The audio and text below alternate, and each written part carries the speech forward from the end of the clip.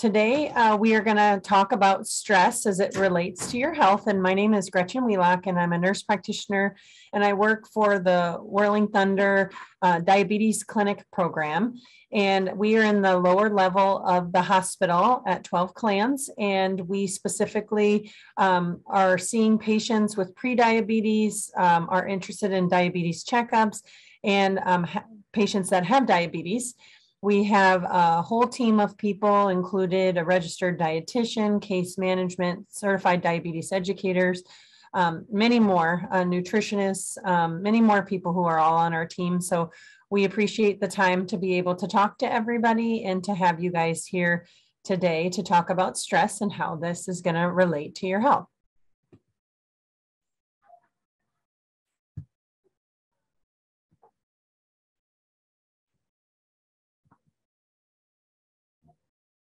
Okay, so the presentation objectives. So we are going to define stress and identify the symptoms of stress. We're going to determine how stress can affect your life and just within a routine of life. Identify the link between stress and diabetes, along with other health conditions. We're going to learn um, stress coping mechanisms and techniques, and then we're actually going to practice a little meditation, gratitude, and some positive mantras throughout this presentation to take a few tools and tips home with you today. All right, so let's first take a meditation moment. So I'm actually um, not only just a nurse practitioner, but I am certified in uh, yoga as well. And so one of the things that I really love to do is yoga practice, which part of yoga practice includes meditation. So for those of you that are able to participate in this meditation, we're just going to do a little bit of a, a midday unwind um, meditation that I hope that you can enjoy. I know that sometimes it's easy to keep working and and to just listen. But if you can give yourself these five minutes i promise you it'll be worth it to you. It'll be worth it to your body and your mind um, at that time. So if you can just kind of put your feet down against the floor. Bring your sits bones equally on your chair. Bring your shoulders over your hips and just kind of rotate those shoulders back and down the back. and then find a comfortable position for your hands. So we oftentimes say in yoga that if you're in need of more grounding and more centering, that you can bring your palms down towards your lap. And then if you're in need of more light and just letting go that is when you bring your palms up. So the back of your hands are against your lap. And then if you feel comfortable in your surroundings, I really invite you to close your eyes. And as you close your eyes, start to focus just on your breathing and your breath. So, what I want you to do is notice as you breathe in just through your nose and allow that chest to expand and allow the breath to go all the way down into your lungs. See, visualize that breath filling up your lungs. And then as you exhale, visualize those lungs kind of shrinking and all that air then coming up and out of your nostrils again. Continue to just breathe like this as you inhale, allowing the lungs to be filled with oxygenated air. And then exhale, release. And sometimes we tell our yogis or the people who are participating in this breathing exercise to focus on the point in between their eyebrows, and we call that the third eye region. So, if you can focus on the third eye region as you inhale through your nose, filling up your lungs, that air is filling up. And focus on that third eye region as you exhale, allowing that air to go back through the nostrils.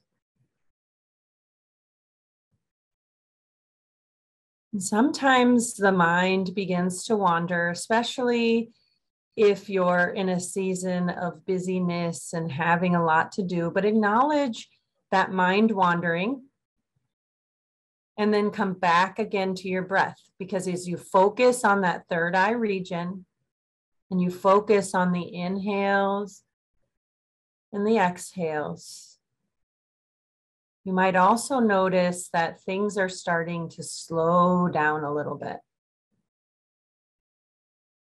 Maybe your breath is not as rapid as it was when we first started this meditation.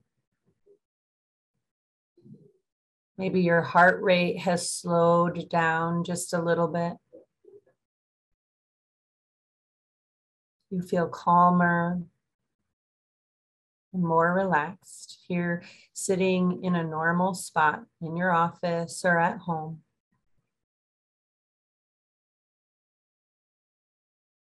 Begin to relax your eyebrows and the frowned, maybe furrow brow. And if your tongue is pressed up against your mouth, can you relax the tongue, relax the jaw? Just let it go. Relax the neck. Allow the shoulders to just fall heavy down the back. Your arms become heavy and limp taking all the muscle strength out of your arms so that they're just hanging there on your lap. Relaxing the fingers, each finger, the thumbs, the pointer finger, the middle finger, the ring finger, and the pinky. Allowing the breath to continue to slow as you breathe inhales and exhales. The chest becomes heavy. Your stomach loosens. Your hips sink into the chair. Relax your bottom and your buttocks. Allow the thigh muscles to relax, your knees to relax. Your calf becomes heavy. Your feet are still. As you draw attention down into your feet, you notice that ground and that earth below you that is supporting you, holding you.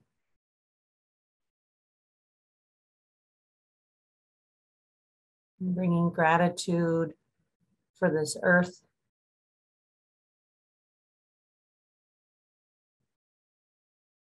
This moment that you exist here in space.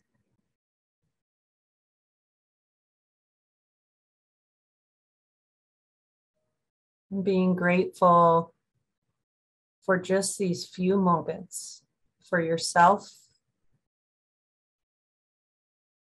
And this little bit of relaxation will follow you throughout your day as you interact with people around you,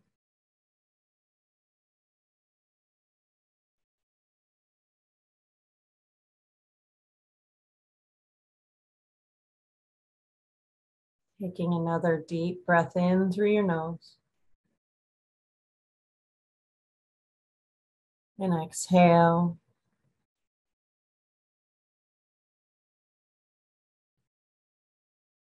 When you're ready, just bringing a little movement into your fingertips and your toes. And then roll those shoulders again. Maybe you can go the opposite direction that you went when we first started the meditation.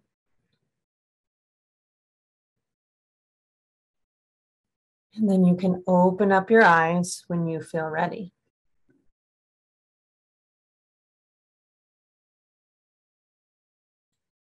So that little meditation was less than 10 minutes. I actually didn't record it. Um, I didn't see how long it was, but just thinking about how much better that just those 10 minutes felt and how easy while you were following the sound of my voice you can find those same meditations on YouTube. You could talk yourself through a meditation, just a head to toe scan.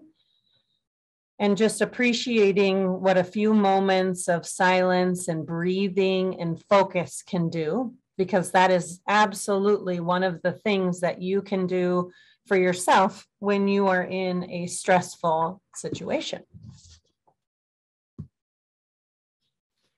So, what is stress? So, when we think about stress, it is how your body and your mind, notice I like to circle body and mind, how that's reacting to a new or a difficult situation.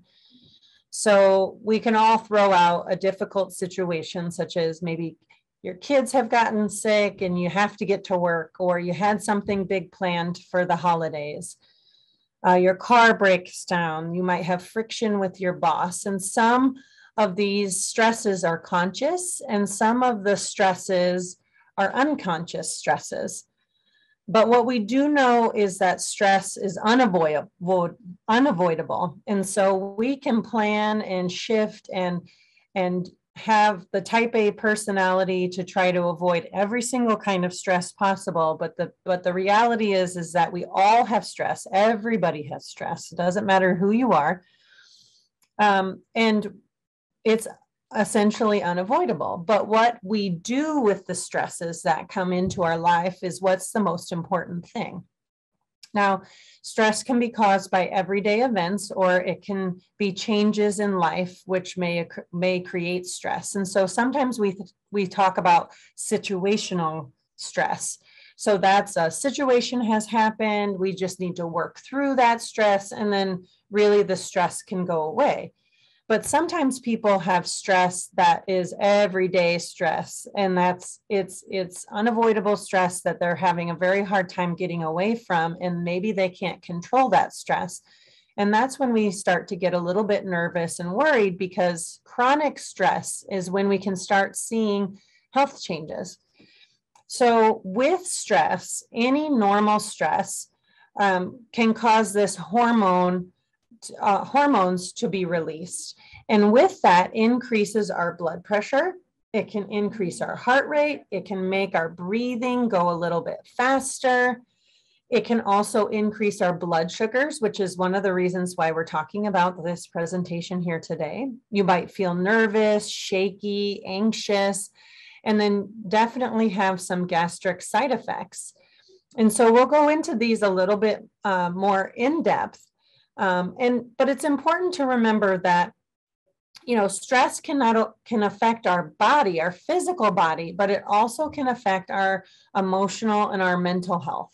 And so that's really important for us to keep in mind because sometimes we're always just worried about our physical health and not always worried about our mental and emotional health. And it's it's also important to remember that not all stress is bad so let's say, you know, we always talk about the fight or flight mode. And let's say that we were, um, you know, in a in a car accident or we were we were in a, a situation where there was a bad guy and we're trying to get away from the bad guy. That is a stress. And what our body does to that stress is it improves our functioning at that moment in time to get out of that stressful situation. I also teach at Briar Cliff University. And so a lot of my students will say, Oh, I'm so nervous. I'm so nervous. I'm stressed. And I say, You know, it's not always a bad thing when you're feeling a little stressed and and you're nervous because it's telling me that you're taking your studies or or whatever it is you're stressed or worried about very seriously and that you take you're you you're worried about the outcome because it matters it's important to you and so there's another example of not all stress is bad stress. So in the short term, we have then the nervous system that it will address adjust to our stresses.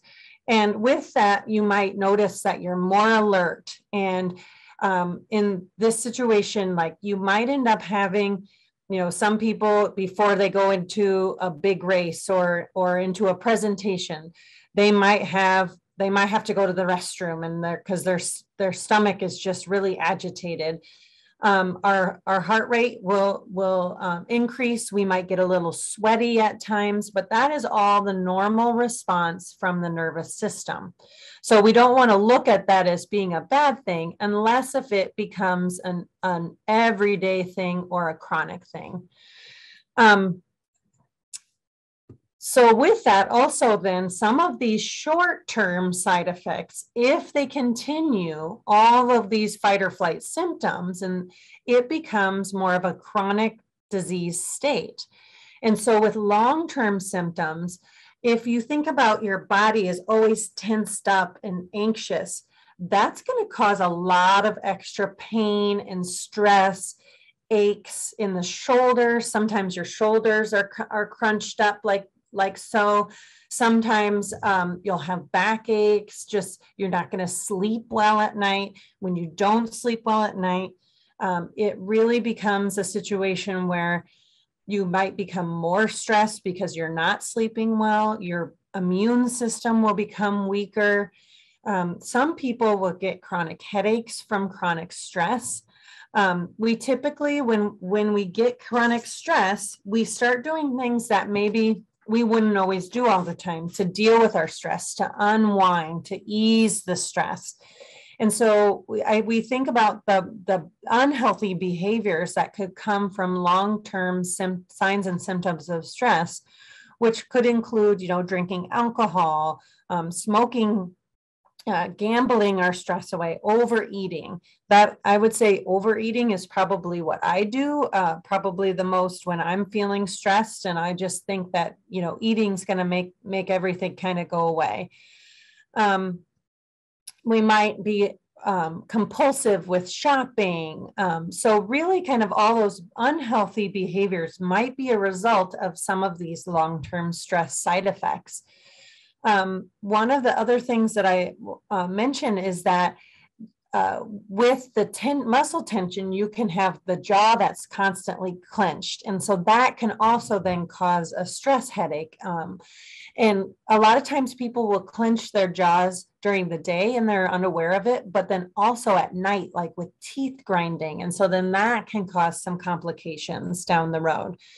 Um, trouble with having sex. So if you think about having um, you know, relaxed, um, you know, you're tired, you're maybe you're more tired, um, you're, you have an inability to, to enjoy or relax, that can be a problem. And then also your weakened immune system. So the more stress we have in our lives, the weaker our immune system is.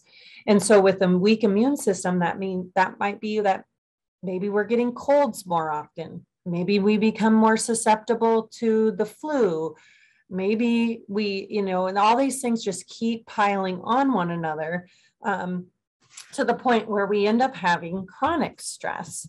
And some of the results of chronic stress include anxiety they can co- include depression panic attacks sadness heart disease high blood pressure in diabetes. So when we think about, okay, well, how how can how can stress lead to these things?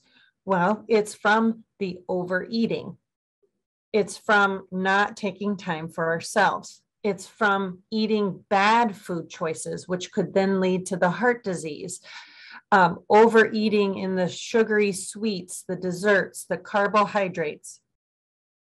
Those sort of things, along with you know, sometimes when we're stressed, we think, oh, I just want to sit here and I don't want to do anything else because um, I'm fried. And so we're not, instead of being physically active or or exercising, we are sitting and just surfing the internet or we're looking um, at TV or we're looking at social media. And while these things might seem like your way or my way of dealing with stress, it can perhaps cause more of these symptoms, such as the depression or the anxiety, especially if we start to compare what someone else is doing on social media and what I'm doing, or how they might look happy and how I'm at home stressed and, and how I'm dealing with that.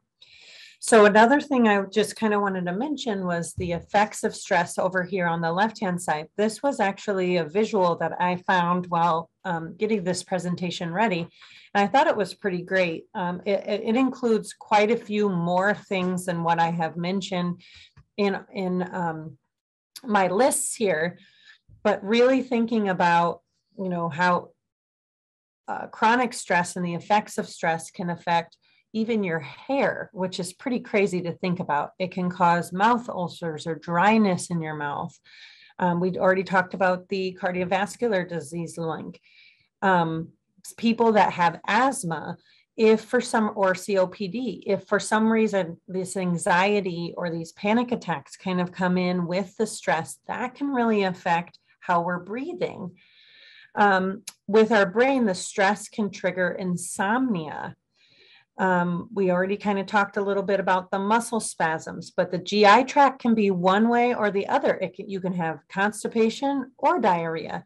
And with a lot of stress, we can start seeing ulcers in the system. So we could see it in our esophagus, we could see ulcers in our stomach, or we can see ulcers even further down in the GI tract.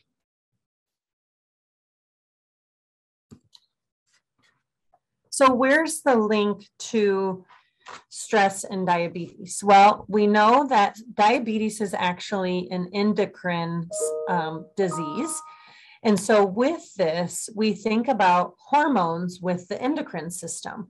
And so, what happens is, is when you're in a stressful situation, whether that be situational distress or chronic stress, your body is releasing cortisol and adrenaline. And if you think about, you know, you say, oh, I've been running on adrenaline, you know, but when your adrenaline and your cortisol levels are so high and that energy is so high and you're in the fight or flight mode, your body starts to become tired and fatigued. And when you're tired and fatigued, you have less ability to cope and less ability to maintain that body's homeostasis. So when these when these hormones are floating in high amounts in our body in our system it makes it much harder for insulin, which is natural in our body's system, to work properly. And so that's when it when we have coined this term insulin resistance. And so if your blood sugars are high, there's just not enough insulin in our bodies naturally to bring those blood sugars down. And as you continue to have high blood sugars, then that's when we start seeing the effects of prediabetes and diabetes.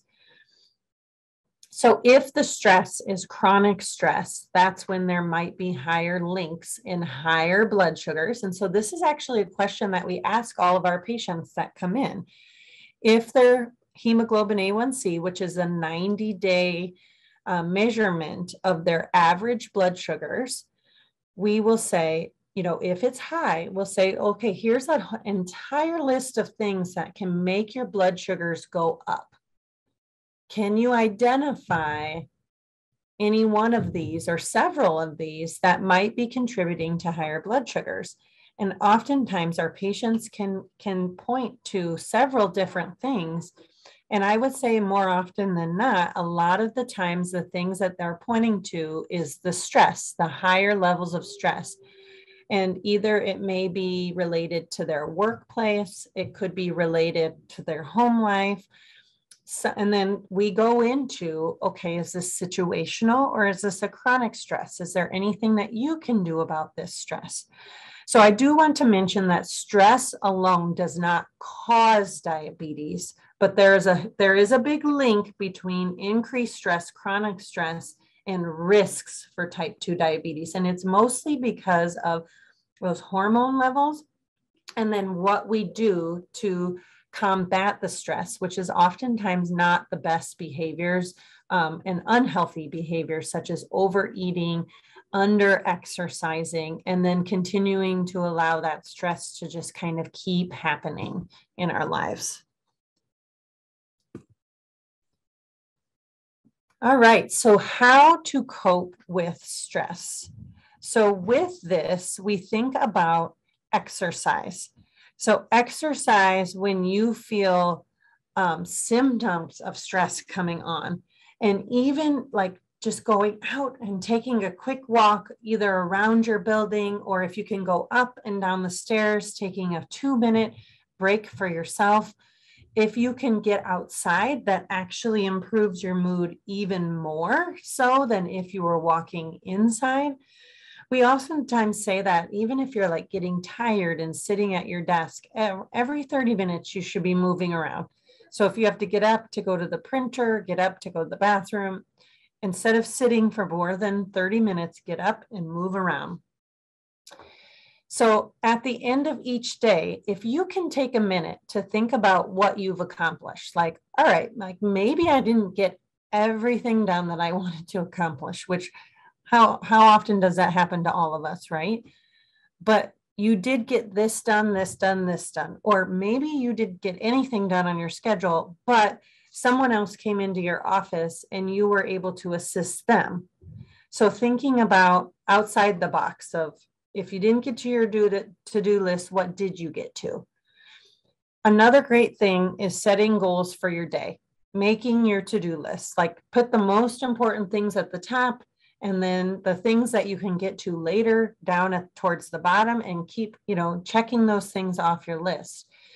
And so one thing is is that we need to think about, you know, if you if you think about just narrowly what you can control, it's let's let's get to our to-do list. Let's look at our daily, weekly, monthlies, monthly goals.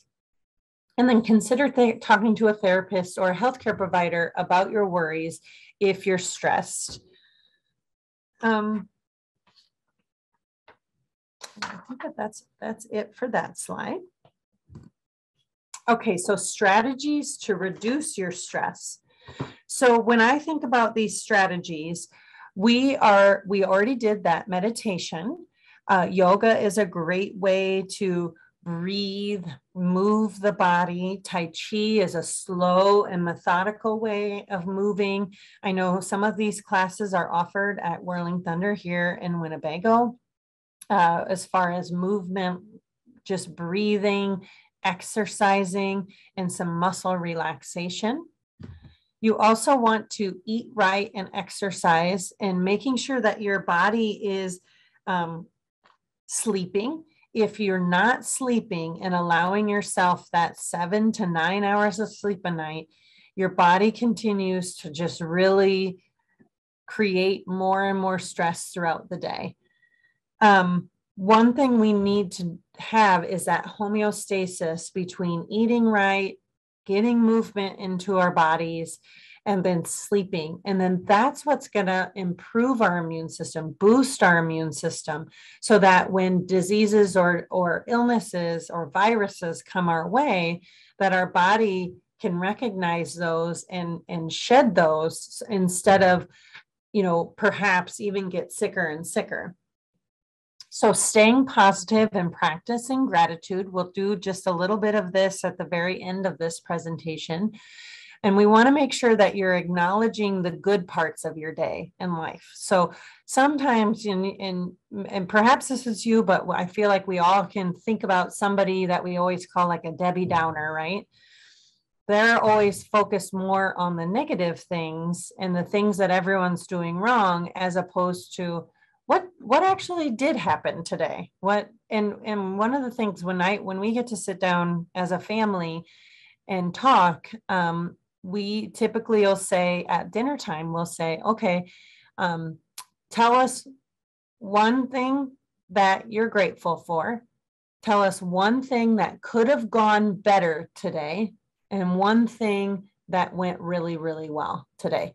And so instead of saying think of a next think of something that didn't go well think of something that could have gone better and even just changing that that mindset and that that frame um, with my own kids has been kind of nice because it's you know we're acknowledging that maybe we could have made a better choice or things could have gone a little bit better. And sometimes we have control of that, and sometimes we don't have control. And so that's this next one is accepting that you cannot control everything. And I oftentimes will have trouble with this one for sure. And that finding ways to let go of worry, uh, worrying about a situation that you cannot change. So I always think about when I know that my kids are traveling or my husband is traveling or they're away from me and I always get worried about the weather and I get worried about all these different things. And then I, I come back to the, the focus of me worrying is not going to help that situation at all because I'm not there and I'm I cannot control that situation. And so that is definitely something that I then just hand over uh, to God or creator and and and let him handle what I cannot control and let it let that worry dissolve and go away. And then learning to say no. So this is really hard for a lot of us and I feel like I have gotten a lot better in this in this modality in this preventative stress strategy. But one of the things that I recommend uh, to you is don't don't feel bad saying no uh, when somebody has asked you to do something. Now, we all have our work responsibilities where we're voluntold to, to do things and it's job related. And those aren't the things that I'm necessarily talking about. I'm talking about the things that are the extracurricular, the things that you don't have to be doing. And so, if you can think about what is life giving to you and what is life draining, so when somebody asks me to do something or asks me to be on a committee or asks me to help out with this event or that event or whatever it might be, I oftentimes think about is this aligning with what what I'm passionate about? Is this something that I'm excited about? Is this something that I have the energy to give to someone else? Or is this something that I'm going to say yes to today and then regret a week or two later and that oh, I just don't want to do this.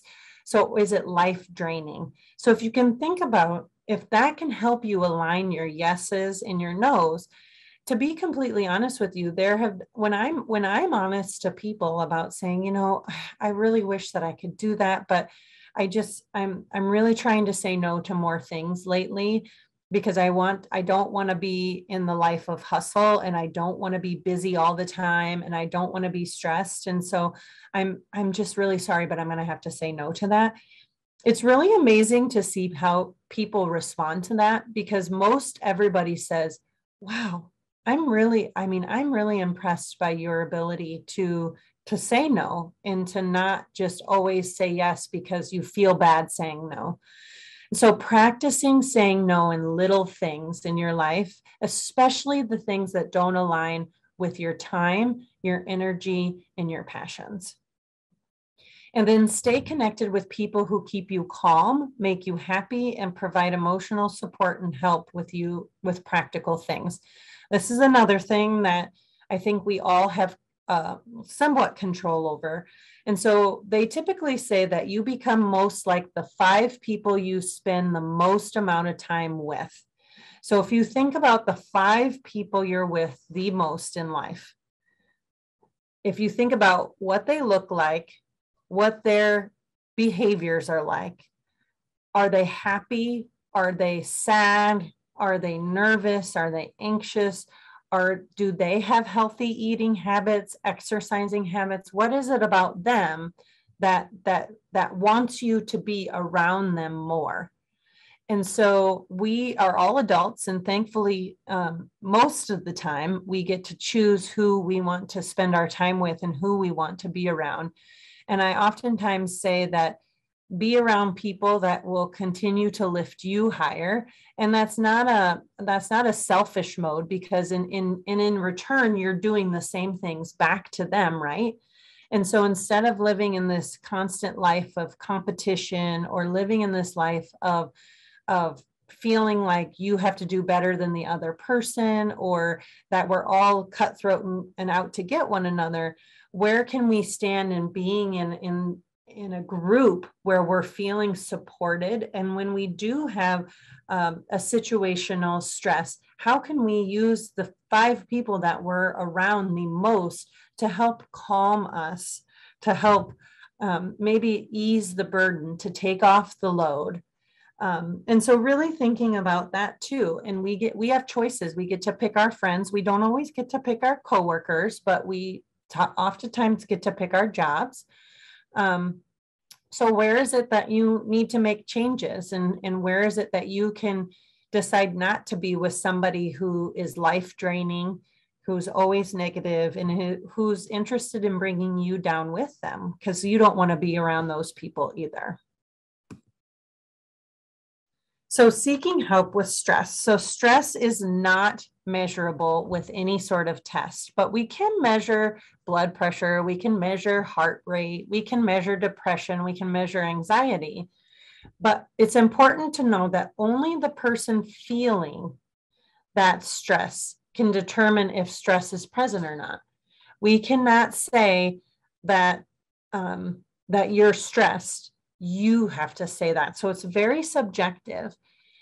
Um, so if you're feeling chronic stress, if you know that this is not just a situational stress that you know you can, you know, get through and just plan ahead and and and do what you need to do, that's when seeing a healthcare provider like myself or another healthcare provider, such as a mental health counselor, can really be great in easing that feeling of being overwhelmed.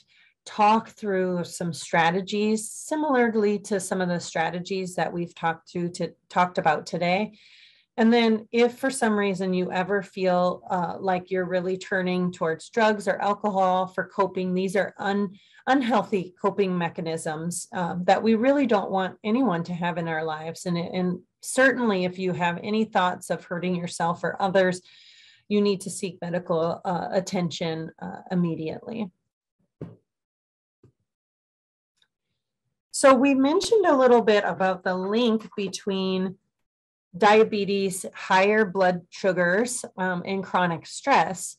But what some people may have never heard of before is this term called diabetes distress. And diabetes di- distress, distress actually happens to quite a few people that have diabetes. Um, it what it is is is an actual emotional response to those burdens of living with diabetes because we know that when somebody has diabetes they have to check usually have to check their blood sugars. They might have to take medications. They um, maybe there's more of an emphasis on dieting and exercising and, and different medical appointments here and there. And so that can become very burdensome to an individual. And then that's when there's this feeling of discouragement and worry and frustration. And sometimes people will literally just stop checking their blood sugars because they know their blood sugars are high and they don't want to see high numbers because that makes them feel worse. Um, they might it might lead to uh, more unhealthy habits. They might even skip um, coming to appointments because they know their blood sugars are high and they don't want to have to hear one more time about how their blood sugars are high and all the things that they should be doing instead of what what what they're currently doing. So diabetes distress can look like depression or anxiety, but it's it is different from depression and anxiety. Typically, what we do to help treat and to help cope with diabetes distress is very similar to what we would do for depression or anxiety, as far as let's talk through this. Let's talk about how we can change our mindset and our frame of mind, and how can we talk um, to a mental health professional about the stresses of diabetes because they're real. Um, other things that can help in the short term are are creating a calendar, setting up um, a, a, journal or a reflective journal of what you've eaten, what your blood sugars are, if you've taken your medications, talking to a diabetes educator. Sometimes the the things that patients with diabetes are distressed about are simple fixed things that we can say oh well if if you're if you're missing your nighttime medications and that's really making you feel bad because your blood sugars are higher then let's let's let's change that let's change the time frame that you can take your medications or if checking your blood sugars four times a day is too much maybe you would qualify for a continuous glucose monitor, or perhaps you can just check your blood sugars once a day. Like we can really adjust and change things as needed for diabetes.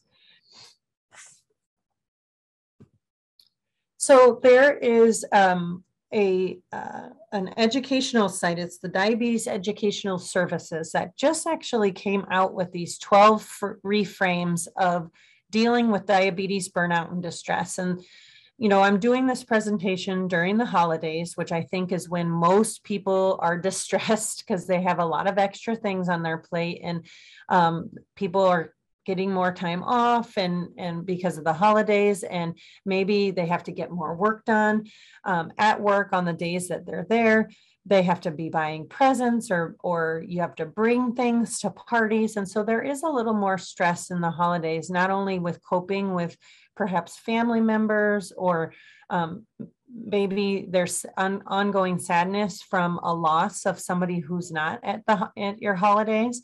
And these are all very very real and so what i wanted to do is just kind of walk through and talk through these 12 um, steps here. So i put the website down um,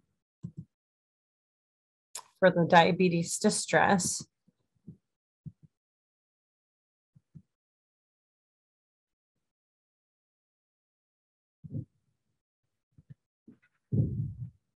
See if I can get this open here.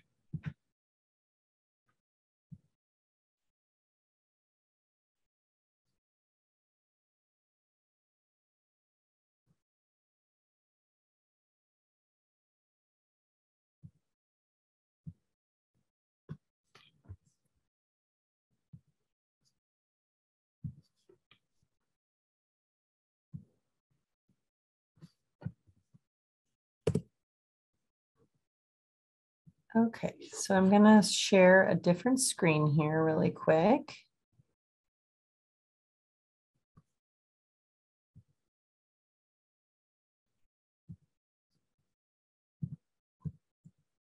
And a couple of our patients have really enjoyed this handout. And so if you if you know somebody who you think maybe is going through some diabetes burnout and distress, please share this uh, link or this page with them. Um, it's really helped quite a few of our patients in thinking and reframing what you're dealing with. So I'm just going to talk through some of these. It's not your fault that you have diabetes, and it's not your fault that your pancreas doesn't work right. You can't control your blood sugars all the time but you can take actions to manage your diabetes to the best of your ability. Blood sugars are not good or bad, they're just numbers. And that they help inform us of what actions we need to take next. So listen to your self talk. It is tempting to be overly self critical and to blame others but try to imagine that you are coaching a friend that has diabetes. So, what advice or coaching would you provide to them? Diabetes isn't about isn't about being perfect and getting it right all the time. It takes baby steps to make small improvements and to keep safe. So take short mental health breaks with your diabetes. Walk outside, enjoy a hobby, listen to your music, volunteer, join a support group. Talk about your feelings with friends and family. Let them know what to help, what help, what helped you to succeed and think that and don't think that you don't need help. So keep active. Nourish your body, try meditation, enjoy oxygen cocktails, and get out in nature. Remind yourself of all the work you are doing as opposed to aren't doing with your diabetes. Join diabetes camps, social groups, find other people, especially people in your own community that also have diabetes, and find out what they're doing. Consider connecting with mental health professionals or the diabetes team and then remember that you are not alone, that you are resilient, and that you are not your blood sugars. It takes baby steps, and you've got this. So, those are all really great positive reinforcement things for people that do have diabetes that I'd hope that you can share either with yourself or with somebody that you know um, in keeping them positive and making sure that they're caring for their diabetes in a way that is uh, a positive way of caring for diabetes. All right, and so our for our final slide, it's another little working slide. So a lot of you, I think, are probably um, at your office desk, or perhaps you're um, in, in, at your work, um, or um, maybe even at home. But if you had a piece of paper, or you can get your phones out and go to the notes section, I just um, wanted you to think about three things that you could identify today that you are grateful for in your life. Just three things. They can be big, they can be small.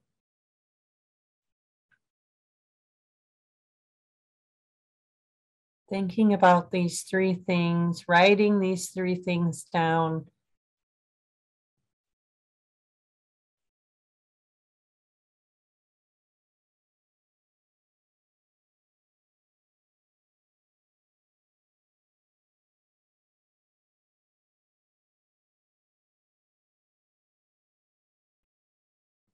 And then once you've done that, some of you maybe got to write three things down immediately, and you could have written 20 things down.